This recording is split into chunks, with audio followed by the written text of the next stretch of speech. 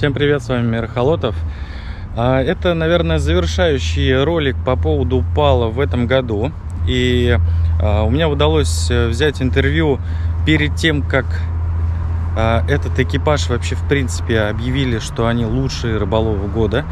И когда я находился там, у меня вот некое такое прям волнение появилось впервые, потому что в основном я не любитель особо каких-то там спортов, болеть за кого-то и так далее. Но здесь это вот как-то, не знаю, у меня это чувство появилось, по крайней мере. А, мне понравились несколько экипажей, и за которых я прям как бы болел. И когда мы общались там с ребятами, которые э, тоже приезжали на, за то, чтобы там за какой-то либо экипаж болеть, все были максимально уверены о том, то, что Селиванов экипаж выиграет. Но просто решились какие-то там полтора килограмма а, на том, что выиграет Арестов Максим и Виталий а, в плане лучшего рыболова года. И они забрали просто себе там а, катер, миллион. Ну, просто супер подарки на самом деле. И до того, как вот э, взять э, до того, как они э, получили эту номинацию, у меня удалось э, пообщаться вот с Максимом и послушать его мнение по технике, которую он использует. Э, и также получилось у меня обсудить, взять, ну знаете, даже не интервью скорее, а снять их как бы некую беседу. Это могучих удмуртов. Мне кажется, вот достаточно все так искренне. Видео на самом деле не супер качественное, потому что уже все стемнело. Но еле-еле там она шумная картинка получилась. Но слышно. И вот эти эмоции, вот эти вот прям искренние какие-то эмоции, они прям вот как-то меня так зацепили эти. Я думаю, что стоит с вами также поделиться по этому поводу. Так что а, обязательно оцените ролик и э, смотрим. Ну и наконец, обладателями титула «Лучшие рыболовы года» сезон 2021. Количество рейтинговых баллов 555. 91 килограмм 140 граммов. Максим Арестов, Виталий Галицкий. Ребята всегда были около призов или в призах. Очень, очень, очень долго они шли к этому титулу. Максим, а, вопрос по технике Гармина. Насколько довольны, чем вот пользуетесь максимально? Я вижу, что у вас есть мотор ГОСТ. Да. А, как он? Удовлетворяет? Хватает вообще ноги 57 кстати? Лоуренс ГОСТ. А, Гоурн, да, это Форс, да, Форс, извиняюсь, да. Вот Форс как вот вообще, насколько хорош? А, в целом мотор он сделан по новой технологии, как и Лоуренс Гост его конкуренты. Наверное, с точки зрения энергоэффективности, mm-hmm. это лучший мотор, который я видел, чем Минкота, чем Моторгайд. А, то есть, с точки зрения более эффективного использования энергии и мощности при определенной, скажем так, а, запасе емкости батарей. Это как бы его плюс, реально плюс. Эм, плюс также, что его можно одновременно подключать что 24 вольта, что 36 вольт, неважно. Есть это, значит это. Есть другое, значит можно другое. То же самое, не хватает 24 вольта, можно легко просто поменять батареи, угу. и, соответственно, у тебя будет 36 вольт более мощный мотор. То есть вы отдельно поставили банки, три банки отдельно? Не-не, у нас 24 вольта. 24, а, и вы используете 24 Мы 24 вольта, да, подключили, и учитывая его, скажем так, лучшую эффективность, повторю, угу. нам в целом хватает мощности за глаза потому что сильно каких-то огромных, ну там длительных э, рыбалок там, в сильное течение, в сильный ветер, ну, не нужно. Угу. Обычно даже в Паловский там тур ловля получается порядка там 5-6 часов. Этого вполне достаточно же. Там хорошие батареи 24 вольта, они держат без проблем. Сколько метров у тебя получается катер? Лодка корпус 5,40 э, с каталином 5,80. И прохватов нет, когда вы вдвоем Есть, стоите? конечно. Есть, да, все-таки? Есть, конечно, да. То есть в идеале получается 180, да, там сантиметров, Чтобы там 72 нога была бы, да?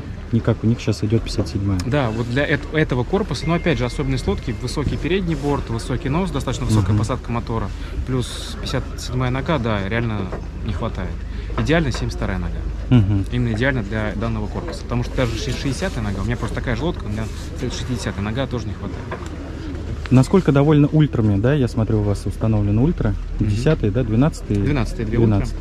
Отличный, на самом деле, холод, особенно с новым датчиком GT56. Картинка реально гораздо улучшилась. Она уже может реально конкурировать с лидерами структурно. А, Хотя до этого, ну, реально проигрывали. Вы поставили два датчика 56-х? Нет, или один. Один. Один датчик. Не затеняет? Или как? Да нет, вполне. Опять же, у нас стоит да? гидролифт, и проблема А, решена. гидролифт решает, да? Он 8-дюймовый у вас?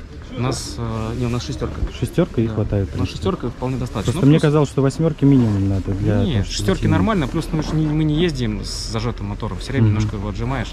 Мгм. Опять же, если он сильно зажат и в режиме э, поиска рыбы, неэффективно использованы двигатели, потому что вектор тяги кривой, он, А. получается, морду поднимает. Не очень правильно, поэтому я все, равно немножечко мотор поднимаю.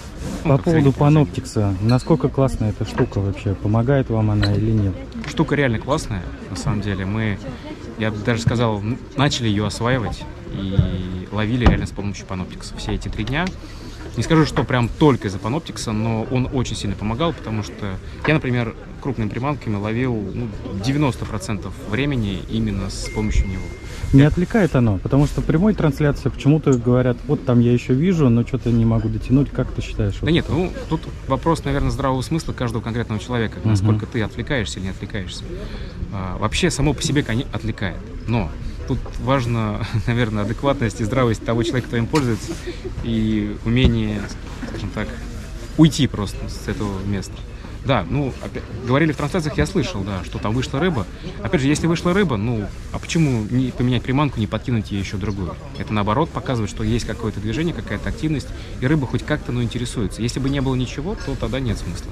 Если же рыба вышла, например, хотя бы разок, ну, один-два заброса другой приманкой, ну, я считаю, это полезно сделать. А датчик э, один паноптикса используете или Да, два? датчик один, ну, наверное, я Есть на в планах следующий два? год нужен будет второй. Второй. Потому что даже мне одному, потому что Виталий больше без него э, ловит, как бы с больше с подсказками. Я посматриваю, где у него приманка идет или еще что-то, направление. А, Даже мне не хватает, не хочется на второй борт перекинуть. Удобно, что два экрана по краям стоят, потому что Мгм. если ловить по правому борту, где стоит датчик, и ну, очень удобно. Если ловить по левому борту, а кронштейн справа, неудобно.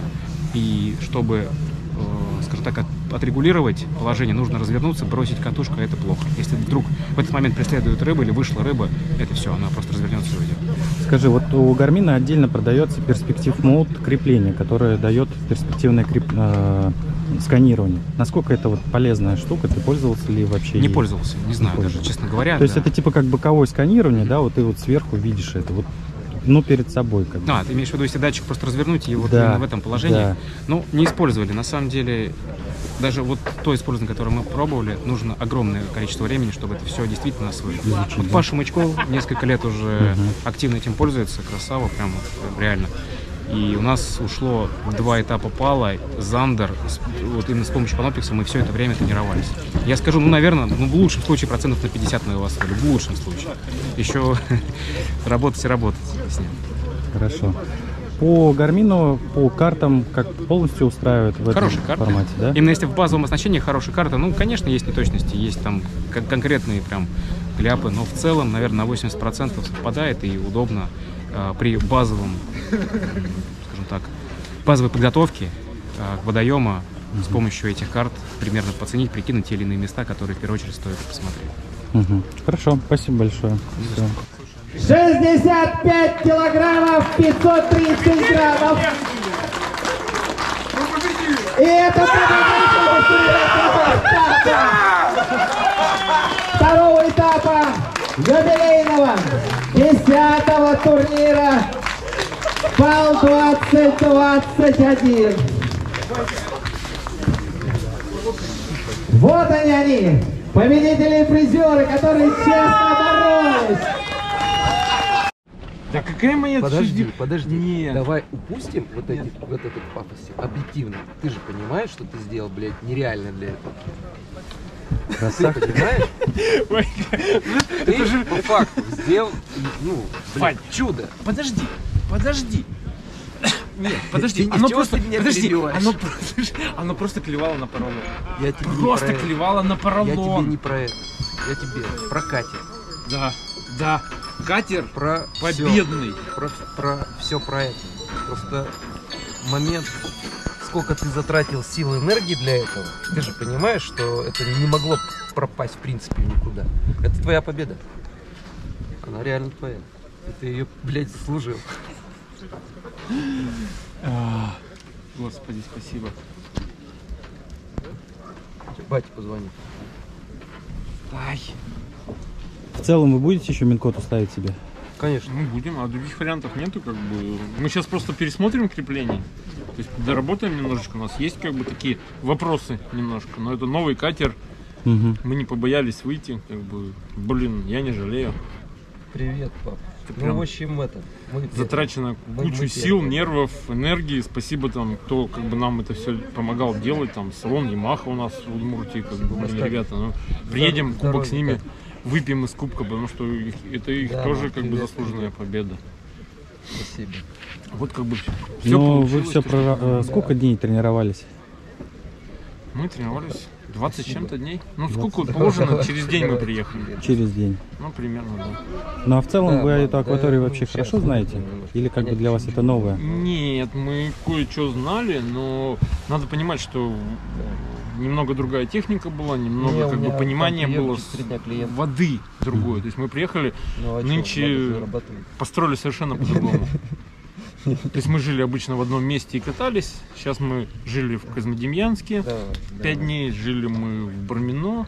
Пять дней. Здесь мы тут, наверное, пять дней или шесть дней. То есть как бы вот мы в Козьмодемьянске, как бы я Мы считаю, что не да, зря. да, Не да. зря. Сейчас темно уже, сейчас ничего Прям как бы потренировались, мы там и нашли эти локации, все остальное, такие Да, да, да. серьезные. Вот сработало все наши Да, да, да.